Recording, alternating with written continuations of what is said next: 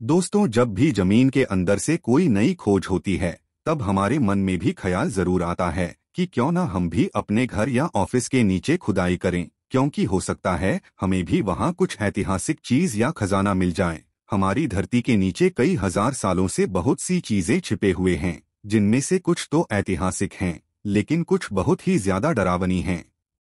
वैज्ञानिकों ने जब ज़मीन के अंदर की खोज करने के लिए एक गड्ढा खोदा जो दिखने में ज़्यादा डरावनी तो नहीं है, पर बहुत ही ज़्यादा खतरनाक है, इसे नर्क का द्वार भी कहते हैं।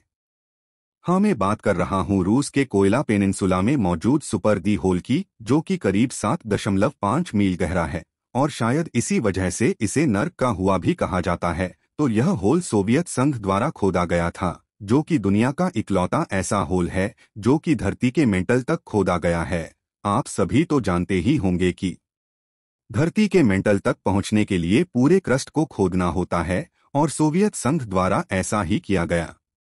आप सभी को जानकर हैरानी होगी कि इस होल के खुदाई का काम 1990 में बंद करा दिया गया था, क्योंकि इसके अंदर से बहुत ही ज़्यादा गर्मी उत्पन्न हो रही थी और तापमान करीब तीन सौ छप्पन डिग्री पहुँच गया था, जिससे इसकी खुदाई में लगी मशीनें पिघलने लगी थी, और माना जाता है कि इसकी खुदाई बंद करने का कारण कुछ और ही है कुछ लोग कहते हैं कि इसमें से नर्क की आवाज़ें आने लगी थी। खैर, अब इस घोल को एक ढक्कन की मदद से बंद कर दिया गया है, क्योंकि इसके अंदर कोई भी जानवर आसानी से गिर सकता है, और एक बार गिरने के बाद उसे कभी